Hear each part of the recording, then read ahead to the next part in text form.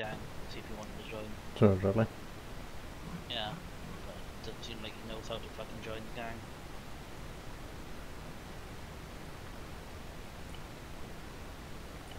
See, I'm like on a strip lay at the moment. Ah, making any good cash? Uh, yeah, quite a bit actually. But I'm like sitting here repairing shit. And I get run over twice intentionally by different people in under a minute.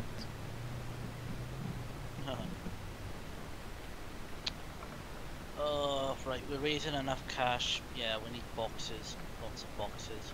How many boxes can your house hold? We're 6 mil, so 3 boxes. No. I mean, if they're all fully upgraded, that's not too bad. Considering how much, uh, fuck, how many, much fucking ammo we're gonna need in a moment.